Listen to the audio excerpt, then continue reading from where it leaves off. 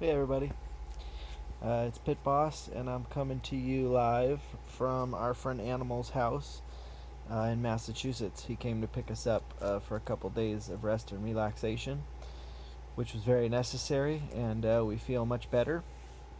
Uh, I wanted to share some news with you guys. The big piece of news is play by play is it is uh, not wanting to hike anymore. Is the bottom line. He um, is missing friends, missing family.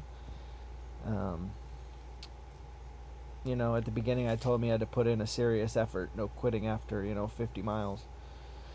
Uh, so he did 1,421 miles, which for a 14 year old is incredible. Um, but, you know, he said he's just. I think what it comes down to in the end is, is dreams, you know. To hike this trail, has been my dream for years. So for me to keep going is, it's no question. I'm just going to keep going. Um, it hasn't been his dream. You know, he had fun. We had a good time. He loves all the people he met. He saw some amazing things, but you know, the dream hasn't been eating at him for years like it has with me. So, you know, he said, "Could I go home?" I said, "You know, in the end, it's up to you." I told him I thought he would probably uh, feel better if he completed, you know, the journey. But it's just not in the cards right now for him, and I let him make that choice, you know. So uh, he has flown back to California, and I'm continuing on uh, from where I left off in New York. Animal's going to take us back there tomorrow.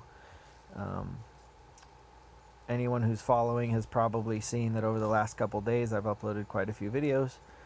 I'm really trying to get caught up. Um, it's difficult to upload from the trail, and um,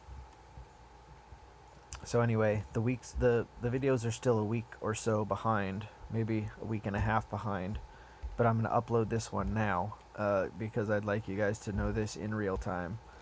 That uh, today is June 26th. Uh, his flight was yesterday, so he um, he flew home on the 25th.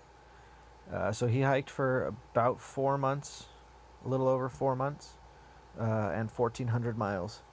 So uh, that is that is the, the the story. So feel free to comment. He'd love to hear.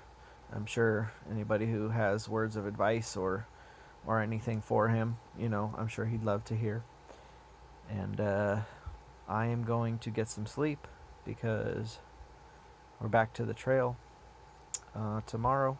Inside Out's here as well, and we're going to uh, get dropped off together and start at the uh, state park where we left off. So, you guys have a good night, and uh, talk to you guys soon.